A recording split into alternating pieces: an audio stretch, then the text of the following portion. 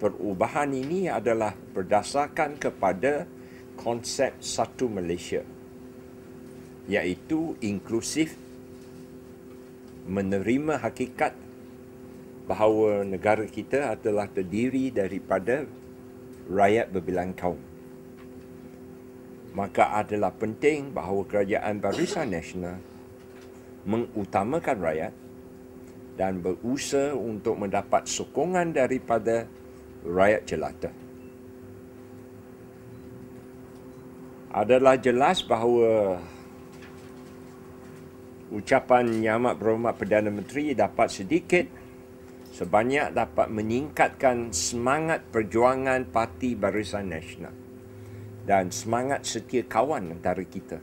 Ini adalah penting supaya Barisan Nasional sentiasa kuat dan kukuh.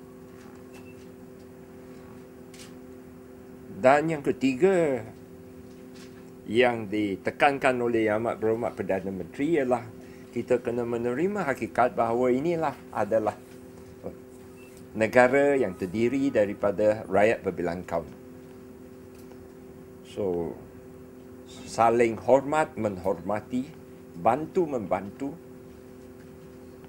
menjadikan asas kefahaman antara rakyat berbelang kaum dan ini menjadikan asas kestabilan politik di negara kita.